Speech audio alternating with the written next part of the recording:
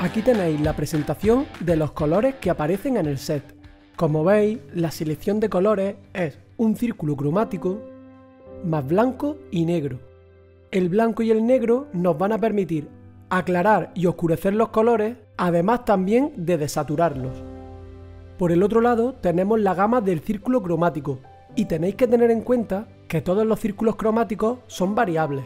Los pintores pueden modificar un poco la tonalidad de estos para coger aquellos con los que se sientan más cómodos. Con esta gama realmente vamos a poder obtener casi todos los colores que encontremos a nuestro alrededor. Estaréis pensando que eso ya se puede hacer con los propios colores primarios, pero tenéis que tener en cuenta que por la composición de los pigmentos acrílicos, cuando mezclamos por ejemplo un amarillo con un rojo, el naranja resultante es más desaturado que si lo cogiésemos directamente de bote. Por eso mi idea ha sido coger unos colores muy vibrantes dentro del círculo cromático, ya que estos serían bastante difícil obtenerlos con mezclas. Con esta selección de colores podemos hacer frente prácticamente a todo lo que queramos.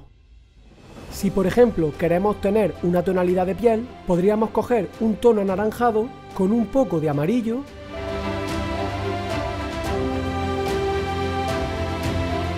y añadirle blanco. De esta sencilla forma obtendríamos un tono de piel. Podríamos también de una forma muy sencilla ir variando esta tonalidad. Si por ejemplo quisiéramos una piel más rosadita, le añadiríamos un poco de rojo. Y si por el contrario quisiéramos una piel más dorada, le añadiríamos un poco de amarillo. Ya que tenemos esta variedad de colores, podemos jugar con los tonos a nuestro gusto. Con este set también podríamos hacer prácticamente todos los marrones. Si quisiéramos un marrón rojizo, tan solo nos bastará mezclar rojo con un poco de negro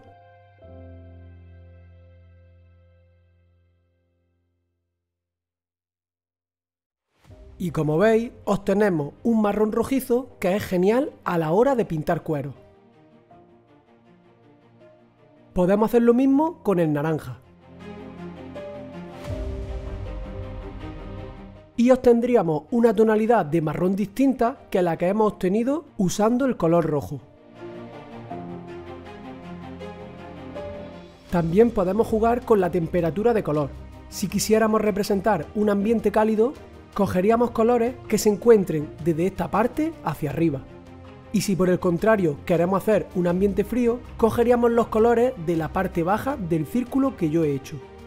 Otro factor que tenemos que saber es que si mezclamos los colores con su complementario, se desaturarán entre sí y perderán viveza en el color. Los complementarios son los colores que están uno enfrente de otro en la rueda de color. Por ejemplo, el amarillo es el complementario del morado. Si los mezclamos entre sí, saldrá una tonalidad carente de matiz.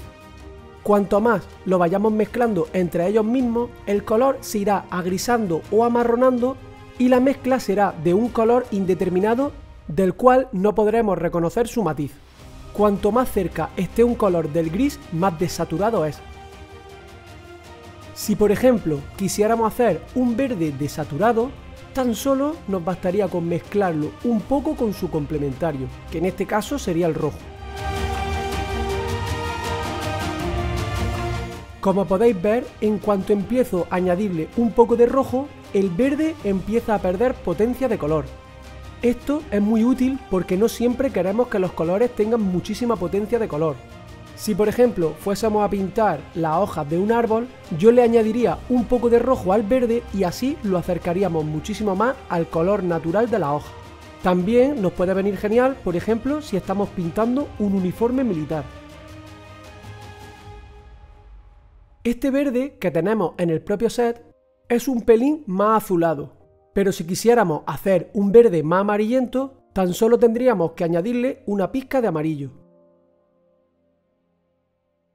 Gracias a que tenemos todas las tonalidades de la rueda de color, las posibilidades son infinitas. Podemos ir jugando con todas ellas hasta obtener el resultado deseado. Para mí ha sido muy importante que todos estos colores sean muy saturados, ya que los colores desaturados son bastante fáciles de obtener mediante mezcla. Todo lo contrario de los colores saturados, que serían bastante difíciles de obtener mezclando un color con otro.